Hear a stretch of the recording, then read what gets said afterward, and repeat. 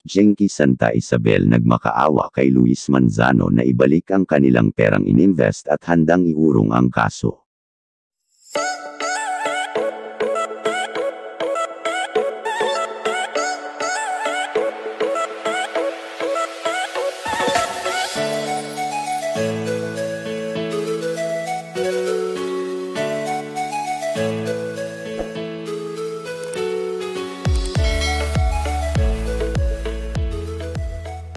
Sa paglantad nga sa media ng isa sa mga naloko ng investment scam issue ngayong ng Flex Fuel at actor na si Luis Manzano ay humarap ito sa media at ito ay si Jinky Santa Isabel.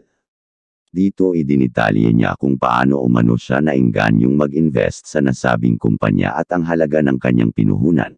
Sa naganap na press conference sa kanya ng media ay sumagot nga ito sa lahat ng mga tanong ng media patungkol sa nasabing investment scam.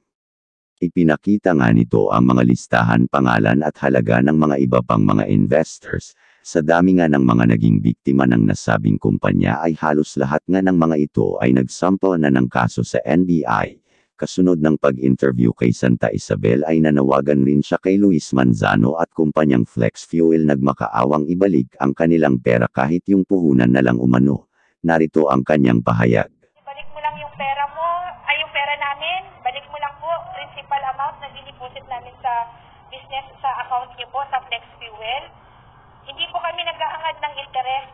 Wala po kami hinangad. Hindi din po namin nahangarin na ipagpatuloy yung kaso kasi kung babayaran mo naman kami at ibalik mo yung pera namin ng buong buo, tatanggapin po namin at hindi na po namin kaya makipaglaban sa inyo. Eh, ma-attempt nyo ba sa gabi na natutulog kayo, marami kayong taong niloloko? Ma-attempt nyo ba sa gabi na natutulog kayo, kayakap nyo yung asawa nyo nagpapakahirap. So sana po, Sir Luis, makonsensya po kayo sa mga ginawa nyo po sa amin. Kasi kami naman po, nag-trust kami ng 100% sa inyo. Hindi lang 100 200% pa nga. Pakaabangan ulit natin ang mga susunod pang mga balita, mga bagong balita, showbiz or celebrity news, dito lang sa MRC News, balitang walang pinapanigan.